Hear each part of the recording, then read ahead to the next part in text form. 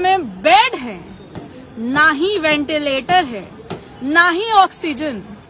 Hi friends and welcome back to my channel दोस्तों, जैसा कि आप जानते हैं कि भारत में कोरोना वायरस का दूसरा स्पेल खतरनाक सूरत हाल इख्तियार कर गया है। वहाँ पे ऑक्सीजन की कमी हो गई है।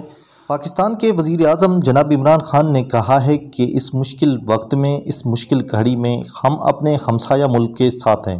हम उनके लोगों की खिदमत के लिए हर वक्त तैयार हैं। दूसरी जानब, पाकिस्तान में मौजूद ईदी फाउंडेशन, जो दुनिया की सबसे बड़ी एंबुलेंस सर्विस है, कि सदर फैसल ईदी ने कहा है कि हमने जनाब मोदी साहब को खत लिखा है। फैसल ईदी का कहना था कि इस मुश्किल घड़ी में हम अपने हमसाया मुल्क भारत के साथ हैं। उनकी आवाम की खिदमत के लिए हम हर वक्त तैयार हैं। फैसल ईदी का कहना था कि हमारी 50 एंबुलेंस विद स्टाफ हर वक्त तैयार हैं। जिस वक्त भी हमें मोदी की तरफ़ से हुक्मनामा मिलता है, हम फ़ौरन पहुँचेंगे। अब वक्त आ गया है कि हम अपनी पुरानी दुश्मनियों को भूलकर इंसानियत का सोचें। दोस्तों, ये थी आज की हमारी छोटी सी वीडियो, स्टे विद अस